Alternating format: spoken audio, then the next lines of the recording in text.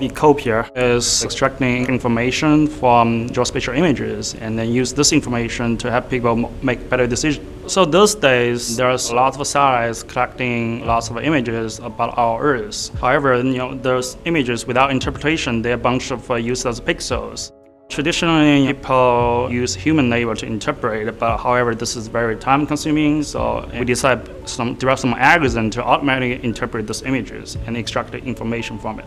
Ecopia has started with some technology that Yuanming worked on in his PhD here at the University of Waterloo, right across the street, and turned it into a very interesting commercial capability to take raw data that comes from satellites and turn it into useful information. I met Yuanming and his PhD research group about three years ago, and Yuanming had this really powerful technology and they wanted to look at ways to commercialize it.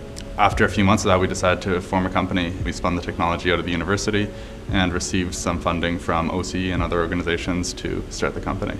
Right after we incorporated, we moved into the Accelerator Center. And what they provided to us that was extremely useful was this layer of mentors. Yuanming has been able to take a brilliant, brilliant project commercialize that idea and form Ecopia.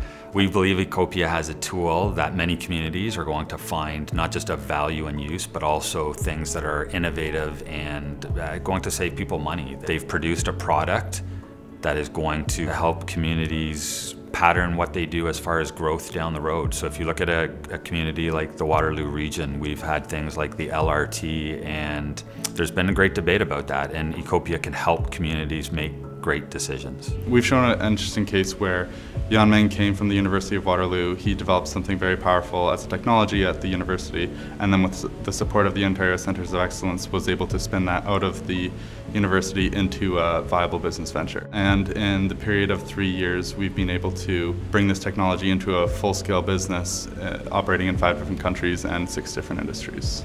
Well, Yuanming is that rare combination of someone who had the smarts to do a PhD in a very complex field and has the business acumen and the entrepreneurial spirit to start a company.